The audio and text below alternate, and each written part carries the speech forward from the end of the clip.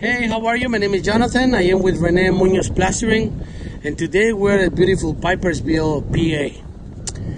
The reason why I'm doing this video is because I would like to show you this wall. As you can tell, this wall doesn't have any openings at all. The issue that we have with this wall is that whoever did the stucco, as you can tell, they did only a layer of, of Tyvek home wrap don't get me wrong, Tyvek is a wonderful uh, waterproofing paper, but when it's used as a drainage plane, drainage plane means the first layer layer of your filtration. In this case, they rely only on, on Tyvek home wrap to protect the the house itself. The reason why uh, Tyvek is not good uh, waterproofing paper is because Tyvek becomes part of the cement. And when, when Tyvek become, becomes part of the cement, in this case the stucco, literally you waterproofing, you end up with no waterproofing. So as you can tell, this wall has bunch of bunch of marks, which mean that this wall it was getting rotted. If, if we pay attention, we can actually see all of the moisture that is actually dripping. You see? That's all of the moisture that was behind the stucco. So that's the reason why stucco, it's, I mean, Tyvek home wrap itself, I don't like to use Tyvek home wrap by itself behind in a stucco, uh, in a stucco wall or in a stone wall.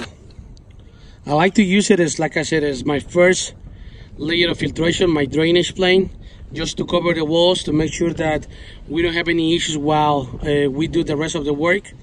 Uh, and then if we're doing a stucco, we can do a second layer of paper. I like to use Jumbotex, which is a grade D paper, and it's a double.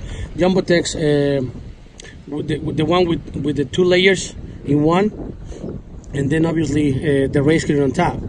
You can actually tell here all of the water that is actually in the wall right now. Before before we remove the stucco, this moisture didn't have anywhere to go. You can actually tell how it's dripping all over. That's that's how bad this uh, plywood is. So all of this plywood has to come off and will have to to be replaced because as you can tell, the, the plywood is not rotted, rotted, but it's, it's water saturated. You can actually tell that it's saturated with water. That's the reason why we have so much, so much water dripping. So yeah, uh, once again, this is Jonathan with Rene Munoz Plastering. Just a quick video on why I don't like to use Tyvek home wrap is my one and on my one and only layer of filtration.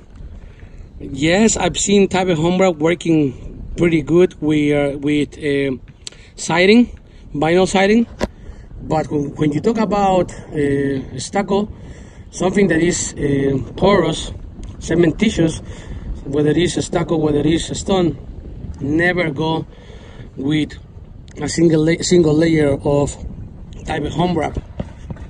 I'm to show you what we have over here. We have some quite some rot underneath. So all of this is rotted. So all of this has to be replaced and has to be uh, fixed. Okay, so this has been Jonathan with Rene Munoz Plastering.